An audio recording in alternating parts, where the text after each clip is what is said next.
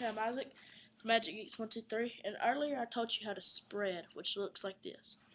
Now today in this video I'm actually going to teach you how to flip them all over like that. There's many different variations like you could just do what I did and do that or you could take a card and make them follow all of them like that.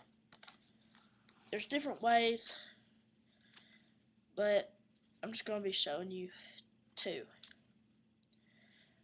Okay, so you start off with the spread, which I showed you in your last video. If you don't know how to do it, you might want to check it out.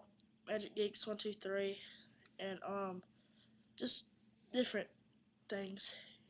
Actually, just check out all of it. But okay, so you want to start out doing the spread and then flip it over, which you actually um pick up a card, just kind of slowly push it over and um spread them out again. And um this time you pick up you actually pick up a card and drag it across the top. So so from a full view it all looks clean and beautiful like this.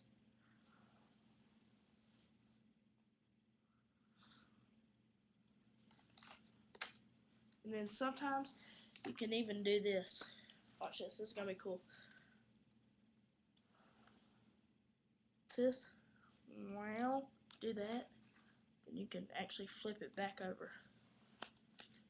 So you go, take card, wow, wow, something cool like that.